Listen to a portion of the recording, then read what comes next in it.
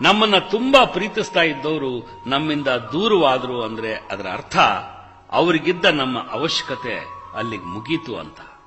ಏ ಮನಸ್ಸೇ, ಗಾಬರಿ ಆಗ್ಬೇಡ. ಕೀಪ್ ಮೂವಿಂಗ್ ಪ್ರತಿ ಅಂಧಕಾರಕ್ಕೂ ಒಂದು ಸೂರ್ಯೋದಯವಿರುತ್ತೆ. ಪ್ರತಿ ಅಂತ್ಯಕ್ಕೂ ಇನ್ನೊಂದು ಆರಂಭವಿರುತ್ತೆ. ದುಃಖ ಬಂತು ಅಂತ ಬೇಜಾರಾಗ್ಬಿಡ್ಬೇಡಿ.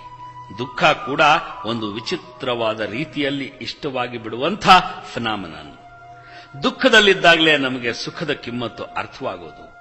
ನಾನು ತುಂಬಾ ಗೌರವಿಸೋ